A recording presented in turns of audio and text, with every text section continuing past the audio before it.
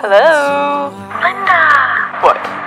should we go like next week? As literally next week? Yeah. I'm pretty sure the answer is we. I don't wanna turn 25. Don't know what I'm doing with my life. Something tells me I should keep on trying. But giving up seems way too This video was sponsored by Sandland. Packing for Paris. This was probably one of the most spontaneous things I've ever done. I remember it just being a random Tuesday. I was writing lecture notes, eating oatmeal, and I get a call from my friend, and the next thing you know, good morning. Let's go to Paris. The non-refundable tickets are booked. Our tiny carry-ons are crammed to the brim. The cheapest Airbnb in the least sketchiest area is ours, and every hour of every day is spent yelping restaurants. A girl's trip to Paris. Man, even saying that sounds so surreal. You know when people ask you how old you are and you have like a moment where your mind goes completely blank? Wait, how old am I oh. again? Last meal at home. Hi, mommy. I swear just yesterday I was counting up my tips after work from my town's little Chinese delivery restaurant. Two days ago I was sitting on the floor in my high school alone because I didn't have any friends. Literally, I still feel 16 years old dreaming about a trip like this. No rush, drive safe. It's starting! Let the adventure begin. I don't We're off to. I mean, yeah, tell everyone where I live. We're about to eat something very yummy. It's just a P, ends with an L. X, ends with an X. P, boop, boop, boop, boop, boop, X.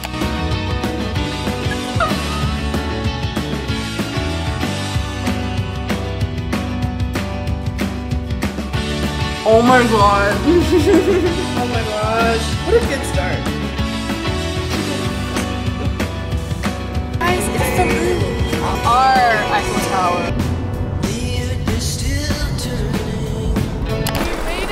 Traffic was slightly concerning. Laughing, crying a little. We were like chuckling the entire ride. we had a little bit of a road rage.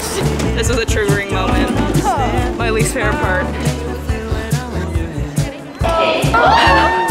So growing up, I was really lucky to have been able to travel with my parents. So I've had my fair share of airplane food encounters, and I don't know what it is about the smell or the look or the idea of it that makes me queasy, but the foodie within me is still always so excited when the food cart comes around, and I will always eat the dessert and then my mom's too. So while the chicken orzo was a 0 out of 10, the bread and the brownie made for a very yummy night snack while we watched 2125, which is one of Cindy's favorite K-dramas. I was skeptical about the title 2125, but it was actually really cute. Speaking of being 20, I don't know, it's an awkward, overwhelming age to be. We're too old for this, too young for that. We're kind of starting to figure out what we like, and then we decide, you know, we hate it. We know so much more, but also nothing at all. We're all going through it, but we're also all a little lonely at the same time. But I think nothing ruins your 20s or 30s or 40s more than thinking you should have your life figured out already. None of it is meant to look a certain way or be compared to anyone else's, and this is probably setting a terrible example, but you know, you have your whole life to stress and worry about bills and jobs and relationships and whatnot, but not everyone can be in their 20s. So design, create, try this and that, and move on and travel and just do it. Just do it. Anyways, our first stop after landing in Paris was. Bruh.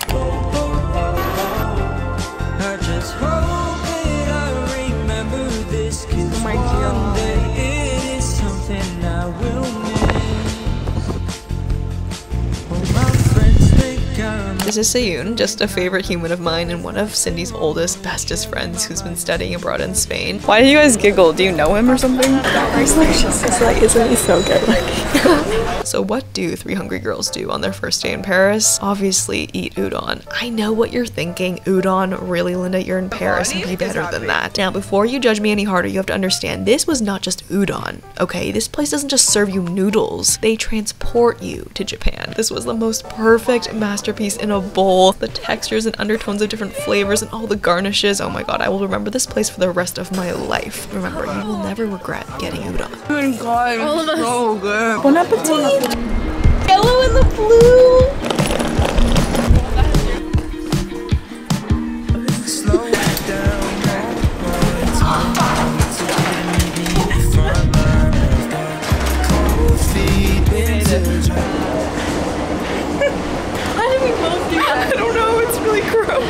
Now, as a bunch of university students, we did choose to call a two star, $20 a night each Airbnb our home because, you know, that's part of the Paris experience.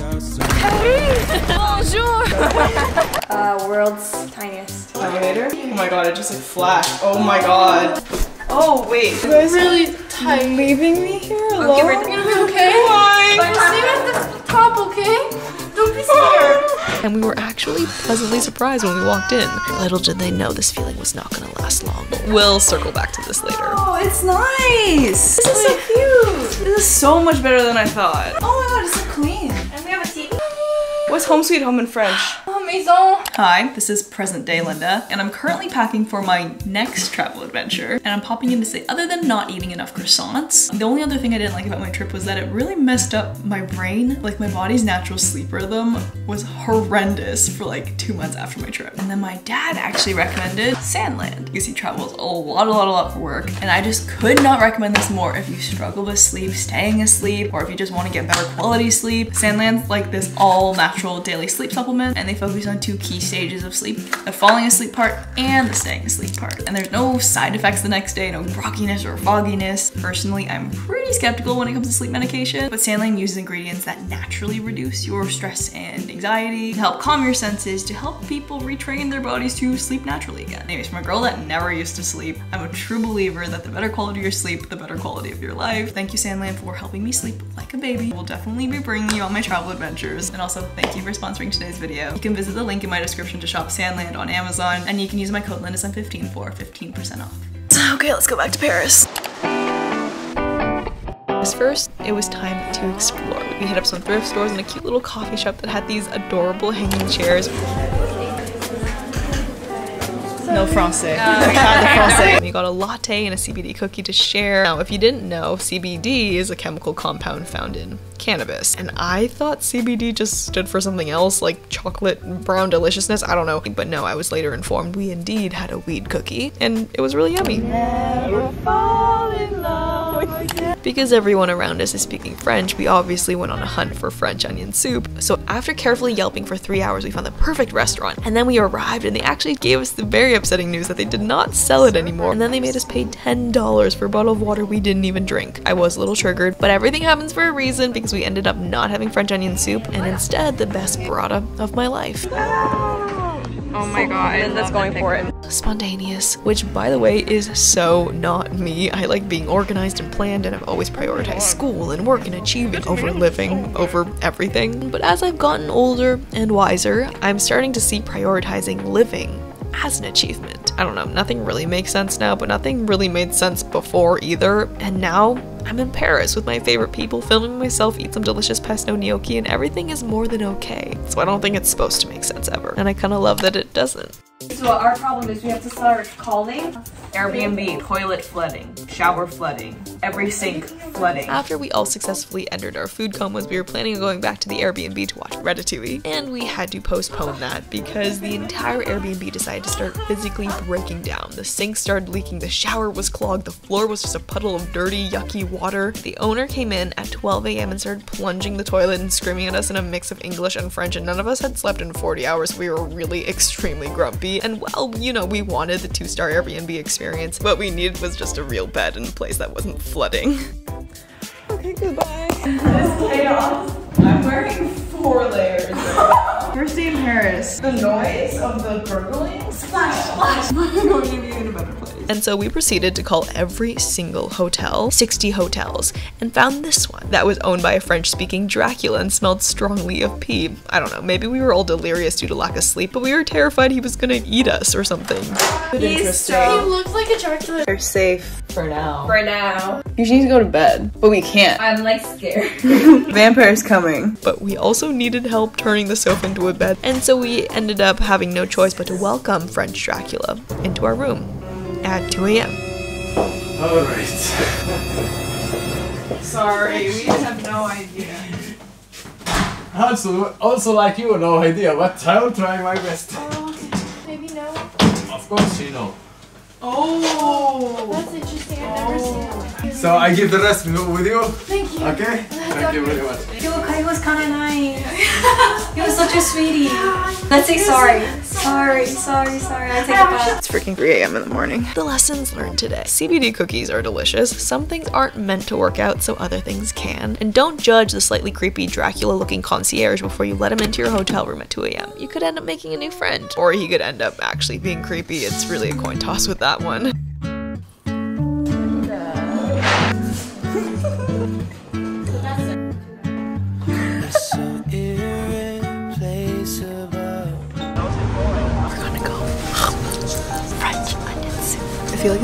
Weather. It's like kind of chilly.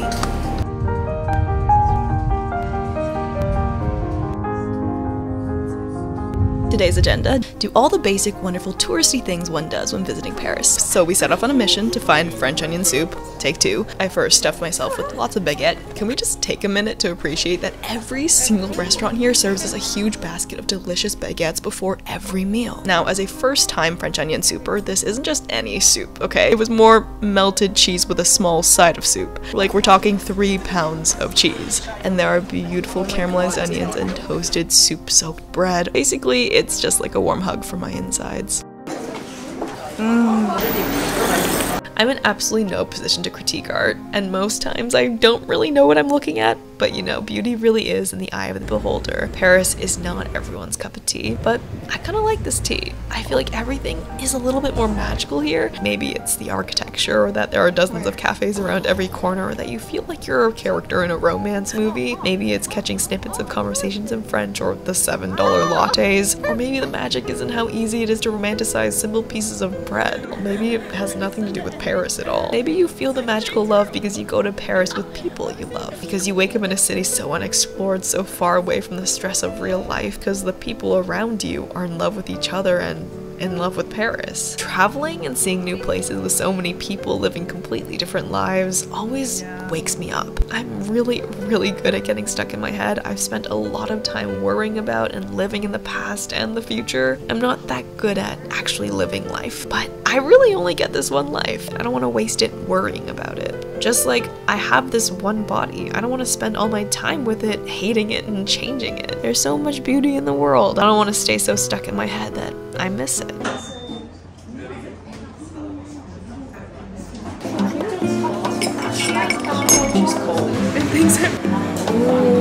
Three, two, one.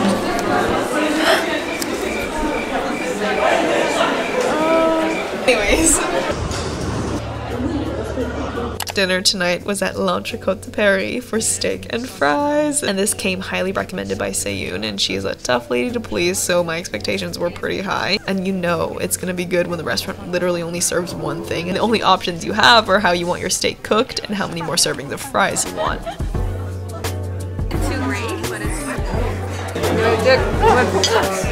It's almost like cleans my nostrils. Dude. It hurts a little. And while the steak was obviously insane, the real winners of the night were the incredibly rich, savory, melty, beautiful sauce that coated the entire plate and the huge mountain of bottomless, crispy, golden yellow fries. I actually ate until I physically couldn't fit another fry into my body, and I will be dreaming about them until next time. My legs shaking, savoring every bite. Usually I travel to search for something.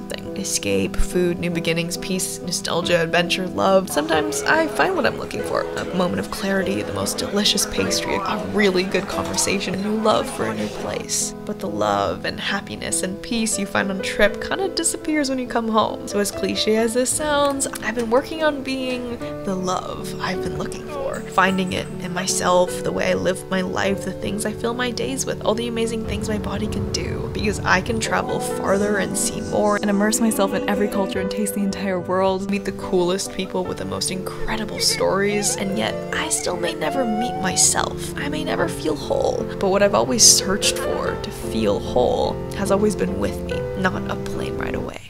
But it actually hurts so bad, like it's like paralyzing. It also feels like a change the street. Good morning. Paris day. Boulangerie? go.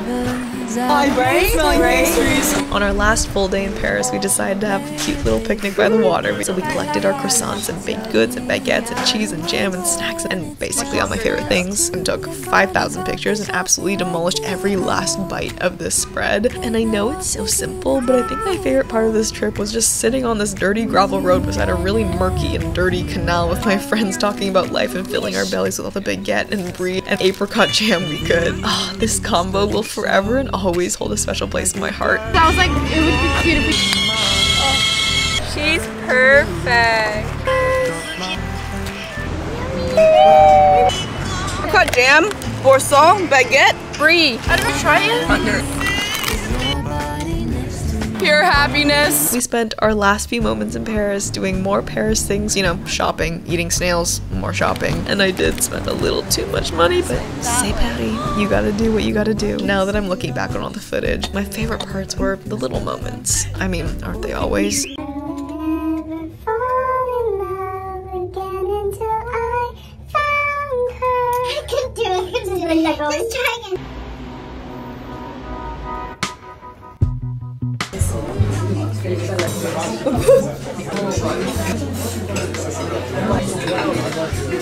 Not bad.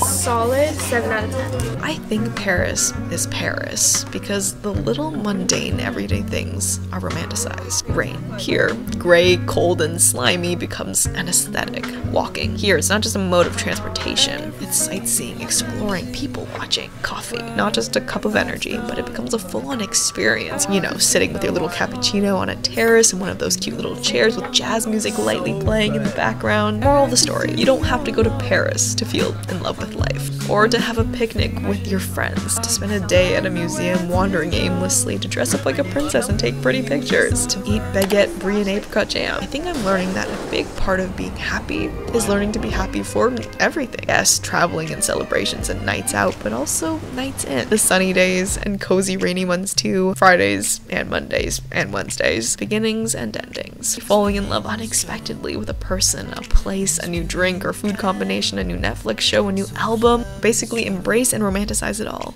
We can all have our own little versions of Paris. God, what if I just Good water. Mm, carry good water? Best water in my life. Mm. Okay, that's a nice one on oh my face. but, like, Not too weird. no. People do that. People dip everything in coffee. Try. It's still good. It can't not be good. I tell you to like jump off a cliff. Do people do this? Try it. Not good. I think you So did good. Too much. So good.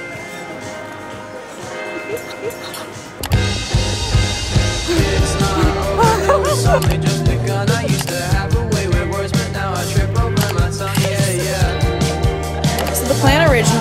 was to not buy anything, and then these two convinced me otherwise, and I spent a little way too much money. Evil. But life is short. You gotta And it live. looked amazing. And because I was dead serious when I said this udon was life changing. It just didn't feel right for my last meal to be anything else. And it was somehow even better than the first time. That's ridiculous. And after getting every last drop, it was time to say au revoir. Thank you for having us. So, dear Perry, no matter how wonderful our little moment was, how many delicious memories were made, how much joy you brought me, no matter how much I want us to last, for this moment to be never ending, that's just all we were meant to have a moment. It's like that quote says sometimes the best thing to do when you love someone is let them go.